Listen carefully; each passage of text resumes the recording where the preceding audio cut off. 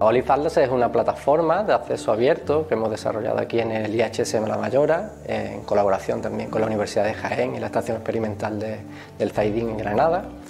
en la que es posible acceder digamos, a la expresión génica de, los genes de olivo. ahí podemos consultar una lista de genes que nos interesen y podemos ver pues, si estos genes se están expresando en el fruto, en la hoja, en la raíz o si se activan, por ejemplo, cuando el olivo está expuesto a, un hongo, a una enfermedad o a condiciones, por ejemplo, de estrés, como puede ser el, frío. El trabajo es puramente bioinformático para echarlo a andar, pero también hacen falta datos con lo que alimentarlos. Entonces estos datos vienen de gente de laboratorio y principalmente vienen del Grupo de Investigación de España, de la Universidad de Jaén eh, y de la Estación Experimental del Zaidín, con la que hemos colaborado estrechamente para, para desarrollarlo. De hecho, los primeros datos de expresión que pusimos en la base de datos fueron de la Estación Experimental del Zaidín hace ya un montón de años y ahora bueno pues eh, aparte de todos esos datos pues tenemos todos los que ha publicado el resto de la gente y todos los que se publiquen en el futuro esperamos incorporarlos también. 180 muestras y ya uno de los árboles ha muerto. La utilidad de esta plataforma es sobre todo para otros científicos que trabajen en olivo y que ellos puedan consultar pues, los genes con los que ellos trabajan y saber en qué tejido, en qué condiciones experimentales se, se expresan. Esto para un público en general, para que sepa la utilidad que tiene, es eso, es que tú puedes saber cada gen del genoma del olivo en qué condiciones experimentales se está expresando. Puede ahorrar mucho tiempo porque cuando uno quiere hacer un diseño experimental, está intentando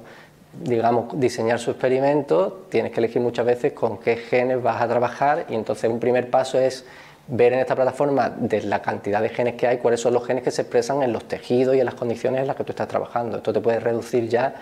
en gran parte el número de genes con los que tienes que trabajar, los que tienes que analizar siempre hay regiones en las que hay unos poquitos genes agrupados. Dice. Ahora la utilidad parece restringida a los científicos, porque bueno, ese es el origen del proyecto, pero la idea que estamos desarrollando es que sea una herramienta donde eh, se integren otros usos que permitan que incluso los agricultores puedan acceder para saber pues incluso en el futuro qué variedades podrían ser las adecuadas para el terreno en función de si se, se les saliniza o está lloviendo poco o es un terreno muy calcáreo,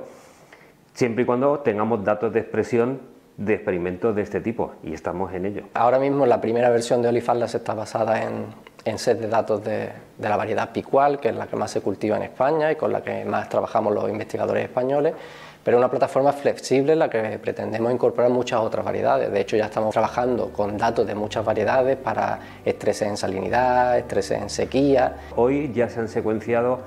cuatro olivos, cuatro variedades de olivos, el acebuche, el arbequina, el farga y el picual. Y además en, Asia han secuenciado otros dos tocones de olivo, que no es exactamente el mismo que el nuestro, pero es el que ellos utilizan para hacer los injertos.